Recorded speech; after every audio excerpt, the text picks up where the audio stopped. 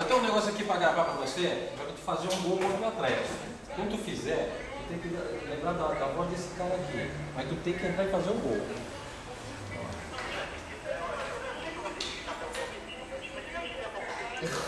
É escuta, escuta, escuta o final.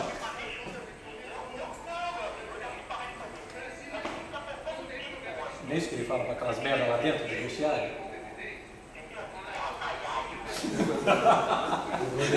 Valeu por ter eliminado o São Paulo, hein, velho? Valeu, valeu, hein? Valeu mesmo, hein?